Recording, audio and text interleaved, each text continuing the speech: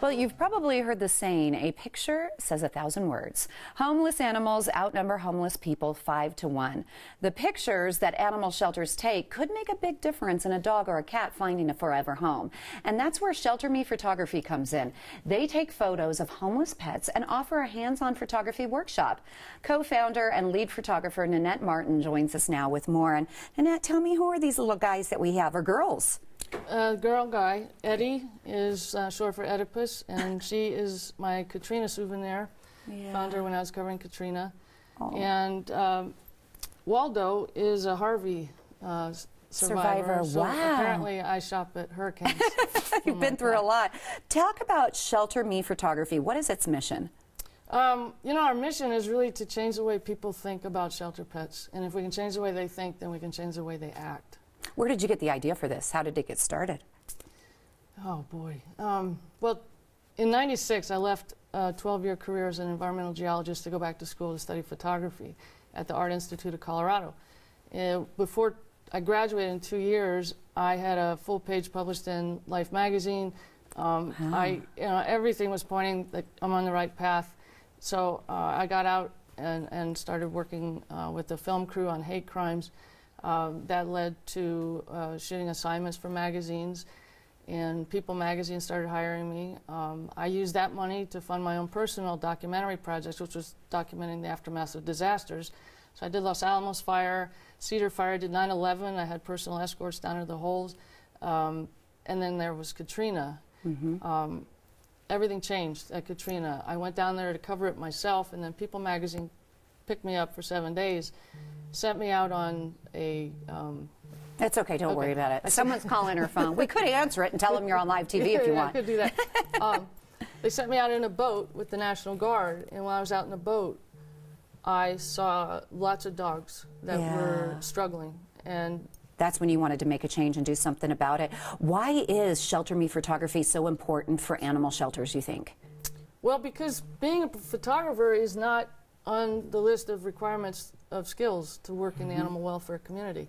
And it's unfortunate because the community really is a, a, a, triangle where the animal control gets them off the street out of danger. The shelter takes care of them, feeds them, vets them.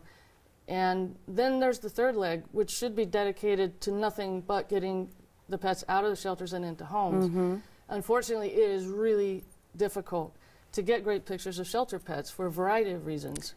Well, you know, I want to take a look at some of the, Eddie, where are you going? I want to take a look at some of the pictures that we have and talk about where you photographed these dogs and then, um, is it difficult? Like I, when I first walked in, I was like, gosh, you have to have the best job. But it has to be difficult too to see these animals trying to find a forever home. It's hard on, on multiple levels. Uh, photographers, we, we like to be in control. And you go into a shelter, there's a lot of stuff going on. And it's loud. Your subjects don't speak you don't know their history. Um, you've got to figure out, you know, what kind of state of mind is that pet in so that you use the right noises. You don't scare them even more mm. when you're trying to get their attention. You want them to look into the lens so that when somebody's looking at that picture, they're looking into their eyes. Mm -hmm. And if mm-hmm. there's going to be a connection, it's going to happen with that eye contact.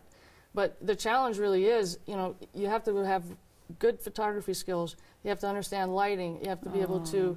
connect with these animals. And that's the most important thing, really, is to connect with them. And to do that, you have to be vulnerable. Oh my gosh, and look so at Buck. It's so cute. Yeah, I was going to ask you with the shelters, do you teach them how to take pictures? And if so, you already gave me a couple tips, but would you mind giving me a, a couple more? It took me eight years to get to where I felt like I knew enough to get in front of a class and teach what I knew. Mm -hmm. So we started teaching in 2013, and uh, I have been, I think, um, I counted them up just in the last year. Uh, I moved into uh, an RV and I travel around the country. I live in it. We've been in 29 shelters in uh, nine states. We've taught 26 workshops. And basically, um, I have a class of shelter workers which don't have photography skills. Right. But they have the heart and they have the commitment. So you got to teach them. So we have like 30 seconds left. I need to find out about your coloring book project oh, and how we can okay. help you raise money.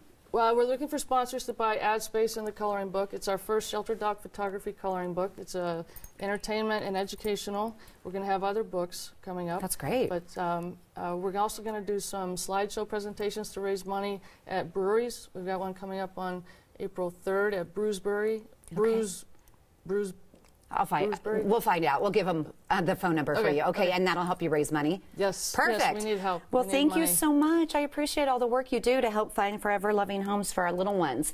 Again, you can help support Shelter Me Photography and help homeless pets find forever homes. You can learn more on their Facebook page. Go to Shelter Me Photo. You can donate online too at coloradogives.org slash shelter me photography. You can also learn more on their website at sheltermephotography.org or call 303 929 5655.